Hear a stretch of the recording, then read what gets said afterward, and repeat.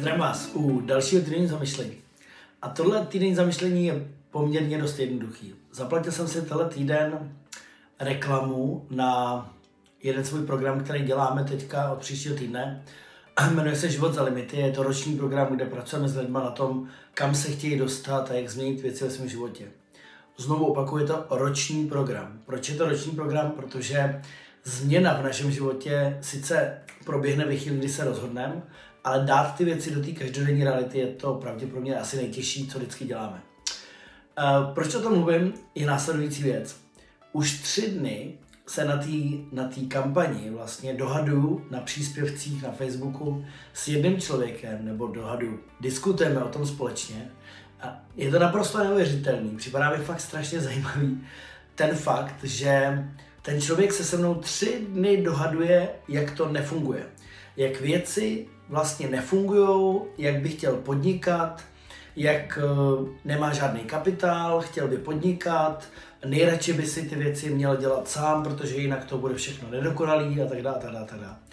A když se nad tím zamyslíte, tak tohle je neuvěřitelná věc vlastně v lidském životě, protože my jedinou věc, kterou můžeme posunout dopředu, nebo jediný, co může opravdu fungovat, je to, když se rozhodneme. Když se rozhodneme, jak říká Henry Ford, pokud věříte, že to nedokážete, nebo pokud věříte, že to dokážete, v obou případech máte pravdu.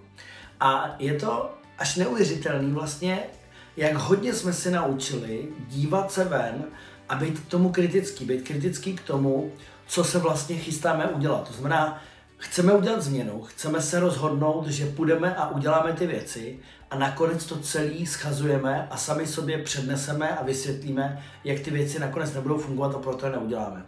Já chápu, že to je obranný mechanismus a že vlastně to znamená ve skutečnosti to, že protože nechceme být zklamaný, tak snížíme svoje očekávání. A radši si vysvětlíme a najdeme ten příběh, proč ty věci nebudou fungovat v našem životě, než aby jsme šli a udělali to. A to mě vede k zamyšlení toho, jak vlastně fungují uh, ty skutečné rozhodnutí. Jak dlouho trvá udělat rozhodnutí? Já jsem přesvědčený, že rozhodnutí stačí udělat velice rychle. Je to okamžik, je to vlastně ta chvíle, kdy v nás se něco zlomí a my víme, že už takhle dál to nejde, a nebo že už určitě jako chceme jít dopředu za tou věcí, kterou, o kterým jsme tak dlouho přemýšleli a že už to nechceme dál odkládat.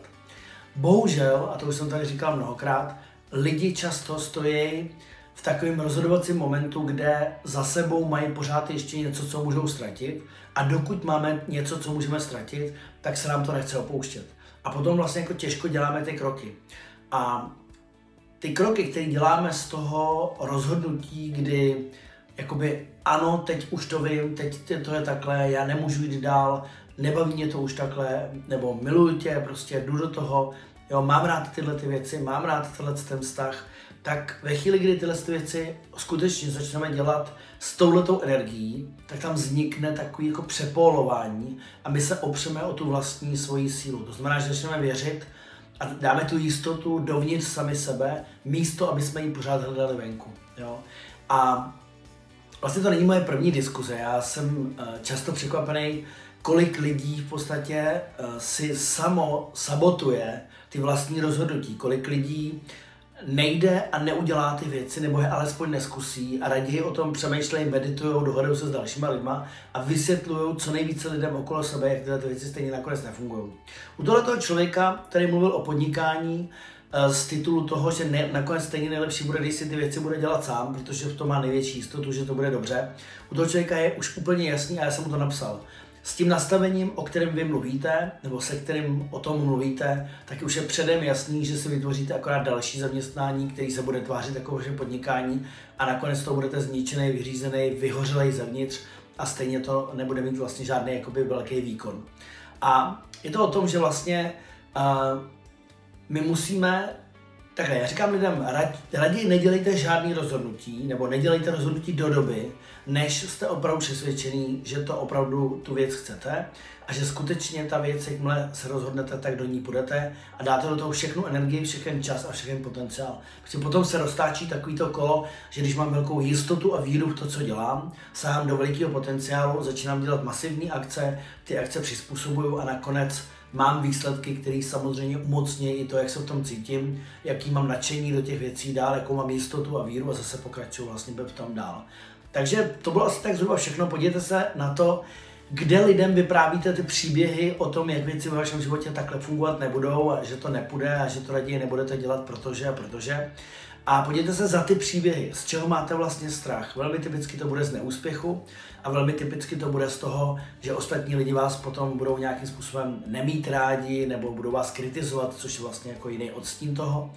A podívejte se na to, kde stagnujete, kde potřebujete udělat rozhodnutí, zamyslete se, proč byste chtěli se dostat do toho místa, kam byste se chtěli dostat a jaký je to místo a znova prověřte, jestli vás to bude táhnout, anebo jestli opravdu ještě nejste připraveni ty kroky udělat. Mějte se skvěle a těším se na další týden zamýšlení a hlavně naplňujte své novoroční předsevzetí, protože už máme únor. Ahoj!